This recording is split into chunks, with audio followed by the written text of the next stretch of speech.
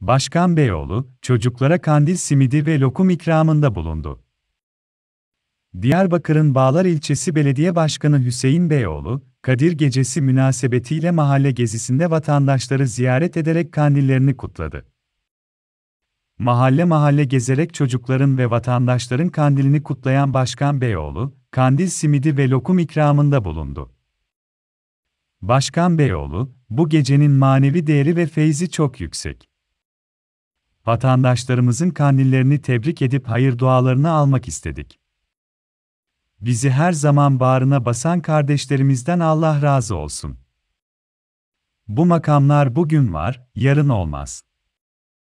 Bizler bu halkın parçasıyız.